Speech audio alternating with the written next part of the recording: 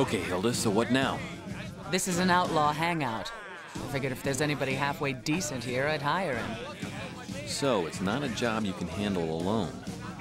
I think it's time you tell me what the job is. Enough with the secrets! All right. I'm going to pick up a certain ship. A certain ship? It's a very special ship. A ship that has enough power to dive into the ether Sargasso. It's called a grappler ship. A grappler? Spaceship?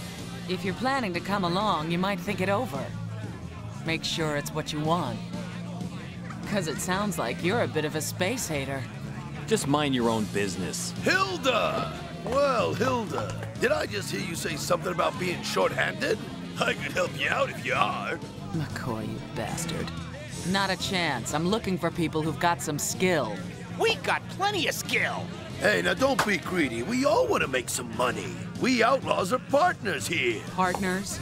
Now, now, you came here looking for partners. Come on, Hilda, isn't that right?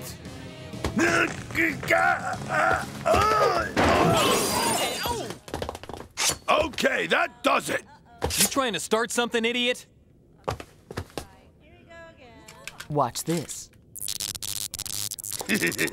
you want some, huh? We ain't gonna play nice just 'cause you're a woman.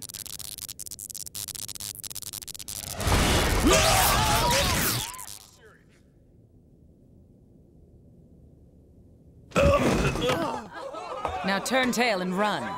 Because next time I won't be nice. Damn you, Hilda. We'll remember this. So guys like that are outlaws too? Well, it's just like it is with the stars. There are bright ones and there are those that are dim. And which kind are you? Well, that's for you to decide. How'd you like to find out?